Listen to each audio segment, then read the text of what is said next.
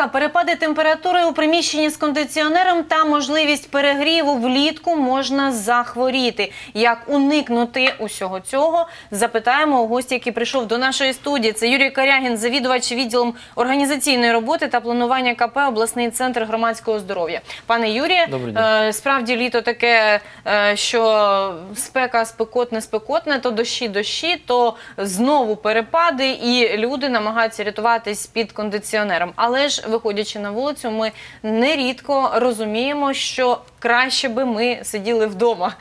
Так, е, спека неможлива. Чи можна від неї врятуватись? Я знаю, що ви недавно приїхали якраз з е, таких ем, курсів, де розповідали вам більше про спеку, про те, як можна врятуватися. Тож ми з задоволенням послухаємо е, інформацію, якою ви з нами будете ділитись. Добрый день. Действительно, мы уже прошли середину лета, и э, довольно э, необычная в этом году погода, и в том числе очень высокие температуры, которые э, для кого-то в радость, а кому-то соста- составляют большие проблемы для здоровья. Но прежде чем мы начнем говорить о том, что, как жара влияет на здоровье, я хотел бы в нескольких буквально словах напомнить о том, как у нас осуществляется терморегуляция. А, Температура это есть такой же побочный продукт нашей жизнедеятельности, как и остальные, там, скажем, метаболиты. То есть его, ее нужно удалять. И для этого а, организм э, использует несколько э, инструментов, так сказать. Это за счет, скажем, простой передачи тепла, то, что мы можем увидеть на тепловизоре.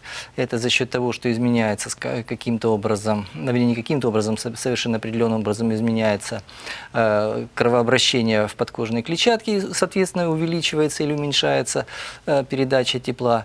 И э, такой инструмент, как потоотделение.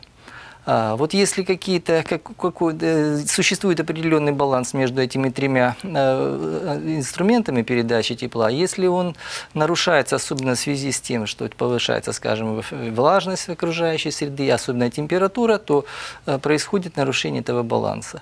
В частности, одним из основных инструментов передачи те- тепла для нашего организма является потоотделение. Но этот инструмент работает, вернее, первых два инструмента – это передача тепла напрямую и на увеличение кровообращения подкожной клетчатки. Это обычно эти инструменты работают там, до температур 30-33-34 градуса. А потом этот инструмент нарушается, то есть когда температура внешняя практически соответствует э, температуре нашего тела. И тогда вступает, э, так сказать, начинается роль потоотделения. Но опять же, если очень высокая э, тем- температура окружающей среды, как правило, влажность, то это ведет вот к таким явлениям, как нарушение теплообмена, к перегреву организма и то, что мы называем тепловым ударом. Есть еще такая вещь, А, как... Так, а якщо ми потіємо так е, дуже сильно, е, Вот. якщо й більше потіння, е, то це невже це не добре? Кажуть, от е, не дарма е, е, в парилках е, чи в якихось саунах і банях все це використовується для нав- навпаки покращення здоров'я організму. Да, это один из инструментов для того, чтобы организм легче адаптировался к таким перепадам и к таким экстремальным температурам. Безусловно, это тренировка хорошая, которая помогает потом и легче переносить жару. Но э, если мы говорим о том, что у человека есть какие-то проблемы со здоровьем и, и нарушаются вот эти инструменты э, передачи тепла, то тогда это, конечно, сказывается э, на состоянии здоровья и может привести даже к достаточно печальным последствиям. Поэтому небезопасны эти, эти, эти явления, и за ними необходимо следить, особенно когда вот нам стану, когда вот приходит такая пора в погоду. А пане Юрію, а від чого це залежить? Е, Одні люди добре переносять е, спеку, і в них е, немає такого порушення теплообміну, а інші люди страждають. Ну, я думаю, что э, изначально все в одинаковой степени э, инструмент этот работает у, всех, как и вся наша физиология. А вот наша б- жизнь, э, так сказать, нам потом э, предоставляет определенные, дает определенные сюрпризы.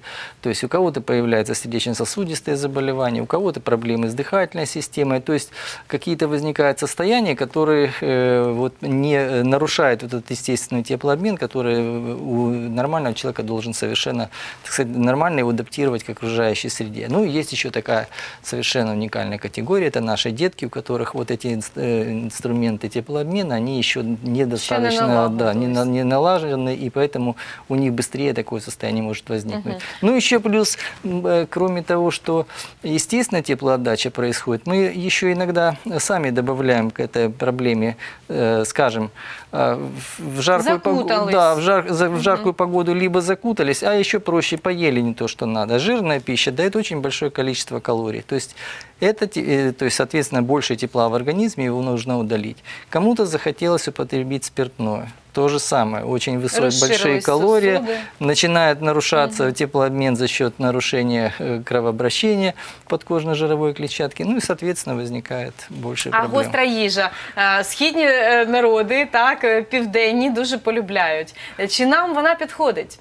І в спеку, як ви рекомендуєте чи ні? Їсти багато такого Ну, перченого, в- солоного? В общем-то, э, она будет просто в большей степени улучшать, улучшать кровообращение, если она не, сопров- не сопровождается в том числе большим количеством калорий, что чаще всего бывает, что жирная и острая пища, как правило, сочетается в разных блюдах, то и сами по себе острые блюда, они, так сказать, только с- будут способствовать, лу- может быть, возможно, лучше теплоотдаче, но если они, естественно, без лишних, э, в продуктах без лишних калорий. Мгм. Тобто вони там е, використовують, е, можливо, за інших е, умов і за інших причин. Вероятно, так? Ну, да. Можливо, щоб не псувалася їжа так швидко. Можливо, так. І це в звичку вже війшло. Нам е, такий досвід краще не переймати, тому що гостра їжа таки недобре е, може на нашому організмі відбитись. Так, а з приводу виходу на вулицю люди часто не розуміють, е, що таке, наприклад, тепловий е, напад і що таке сонячний напад, так як їх розрізнити. Е, Тому що самопочуття поганим може бути і в одному, і в іншому випадку. Тож як це розрізнити, і що потрібно робити в перший е, в першу годину, в перші хвилини, коли ви зрозуміли, що вам зле.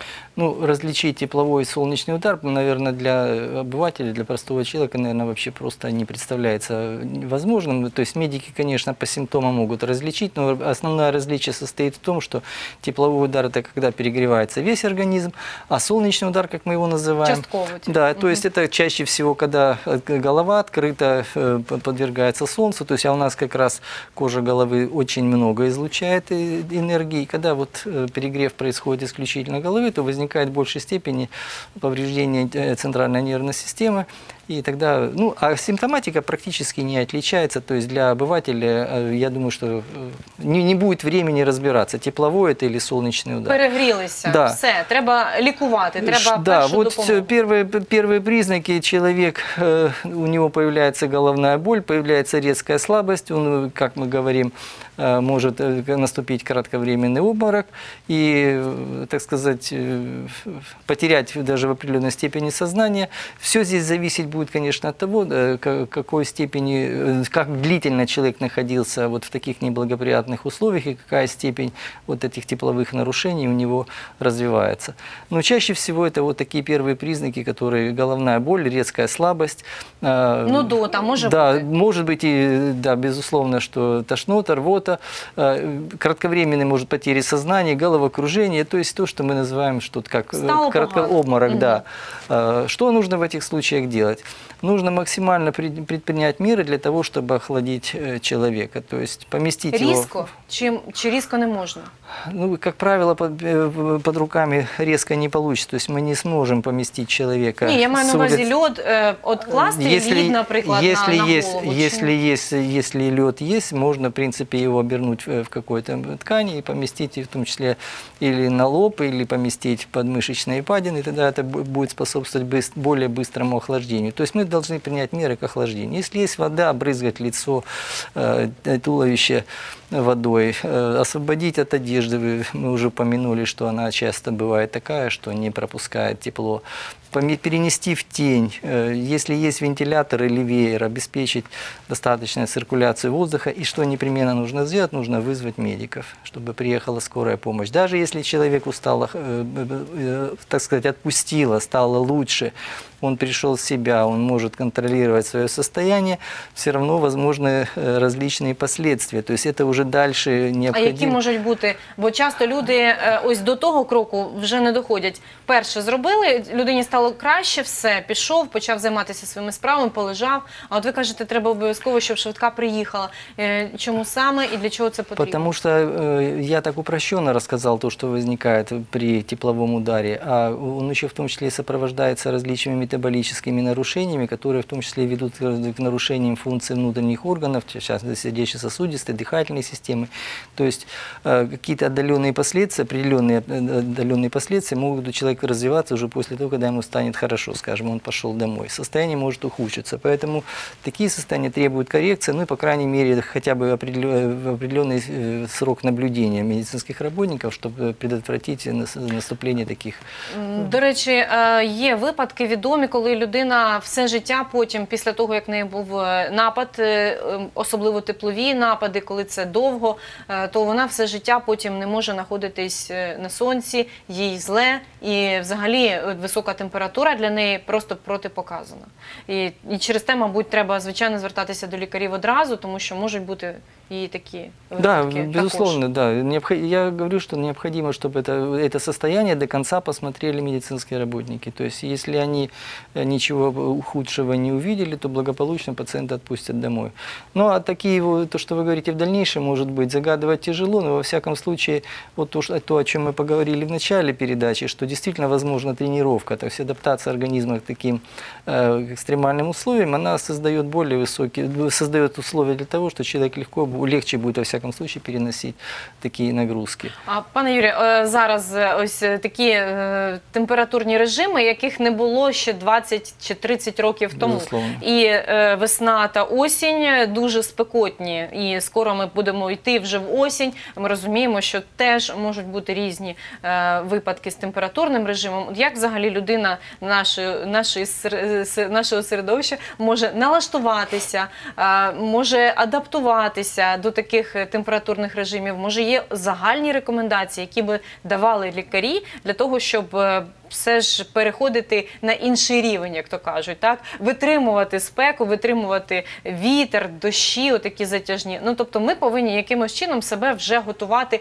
до інших кліматичних умов. Вы знаете, я боюсь показаться скучным и достаточно одиозным, если скажу, что все в основном сведется к тому, чтобы не вредить организму, вести э, то, что мы называем здоровым образом жизни. То есть на самом деле просто не переедать. В такую жару достаточно э, пища должна быть легкой, то есть не содержать большое количество калорий, больше клетчатки, то есть это фрукты и овощи. Вода, лучше, если это будет обычная вода или минерализованная какая-то, не сладкие напитки, потому что сладкие напитки это, опять же, лишние калории, лишнее тепло.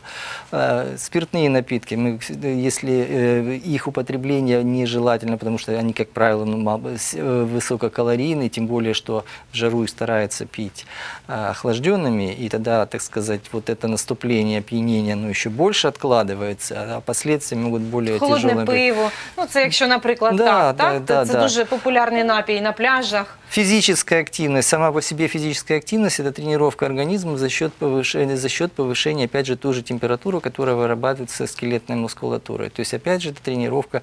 То есть, самые элементарные вещи, которые мы называем здоровым образом жизни, они будут способствовать тому, что будет, э, человек лучше будет адаптироваться. Плюс мы этим будем тренировать сердечно-сосудистую систему, которая легче будет адаптировать нас к такой ситуации.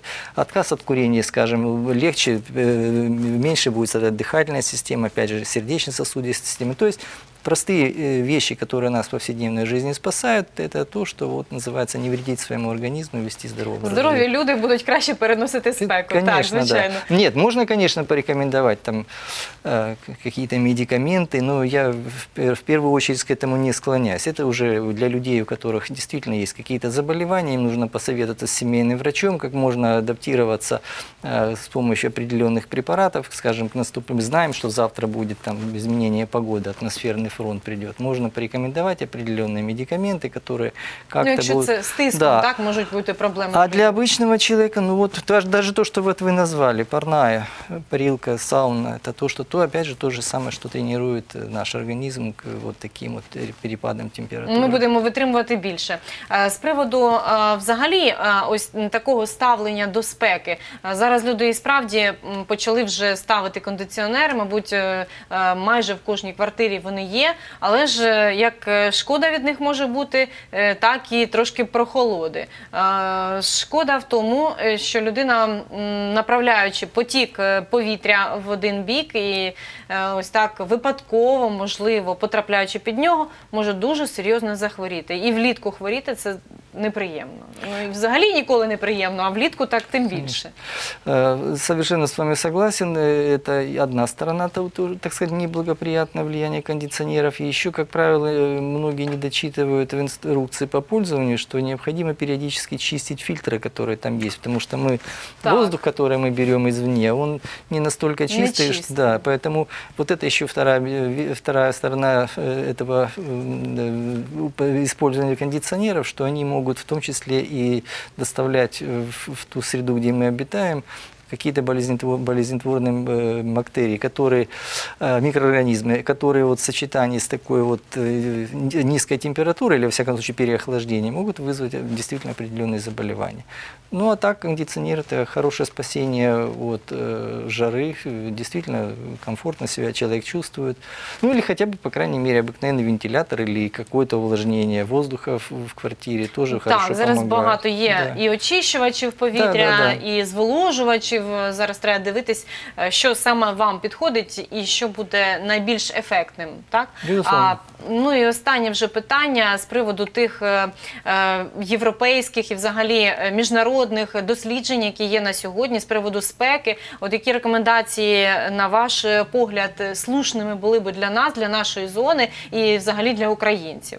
Е, Тож я знаю, що ви е, якраз відвідували і е, е, ось такі курси можете нам про це розповісти, якщо можна коротко. Э, э, Рекомендации достаточно всегда простые. Э, Это выбирать режим на- наиболее благоприятный для себя, то есть посещать какие-то мероприятия или бывать там в каких-либо местах э, тогда, когда температура еще, так сказать, окружающей среды не настолько повышена. Или брать в утренние часы или вечерние. Если э, это загар, то есть от- отдых на, э, скажем, на пляже, то желательно либо до 10-11 часов утра, либо после 16, а еще лучше после 15. Вот этот промежуток между, он крайне-крайне неблагоприятный. А Выбирать соответствующую одежду, легко, как можно легче, из натуральных тканей, чтобы она способствовала вот нашей этой теплоотдаче, а не, наоборот, препятствовала этому. Я уже сказал о питании. Э, Ну и что, пожалуй, еще Э, для деток очень аккуратно, чтобы мамы относились, э, не пеленали излишне, смотрели, в какой колясочке они возят, чтобы она там тоже был определенный воздухообмен, чтобы она закрывала от солнца. То есть абсолютно те рекомендации, которые, которые мы, о которых мы говорим из года в год. То есть нового мы, пожалуй, здесь ничего не придумаем. Э, И единственное, что, что вот, может быть, просто эти условия становятся более такими агрессивными для нас, ну, тогда э, нам надо, соответственно, просто правильно на это отреагировать. Ще більше звертати увагу, тому Конечно. що ці умови е, нас заставляють, вже тепер змушують. Якщо раніше можна було за бажанням, Да. то тепер ми змушені виконувати їх і слідкувати дуже ретельно за усім, що відбувається в нашому житті, а особливо якщо є діти, похилі люди чи люди з проблемами, То там взагалі ретельно, ретельно треба слідкувати. Еще самое главное, что я не упомянул, э, э, о чем мы совершенно не поговорили, хотя мы начали об этом говорить, это обязательное соблюдение э, Во- пи- питьевого режима, да, то есть столько, сколько необходимо, потому что человек может физически работать, ему нужно одно количество воды. То есть я не называю цифру, сколько надо воды, потому что в разных ситуациях, при разной температуре, разных условиях обитания человека ему может потр- потребоваться разное количество воды. Но обязательно питьевой режим. На улицу выходите, берите с собой бутылочку воды, чтобы в любом случае можно было хотя бы утолить свою жажду. Ну так, про все вже тепер поговорили. Пане Юрію, дуже дякую вам, що прийшли сьогодні до нашої студії. Е, Справді така спека, с- вона е, як починається з е, ще з березня і аж е, майже до листопаду е, ми всі відчуваємо, що потеплішало таки стало е, більш спекотно у- у нашому місті і у області, взагалі в Україні. І тому ж е, треба, щоб ми слідкували всі за станом нашого здоров'я, щоб ми були здоровішими, міцнішими, витримували усі напруження і навантаження. І тож хочеться всім вам побажати міцного здоров'я. Не примикайтесь, зустрінемось за декілька хвилин.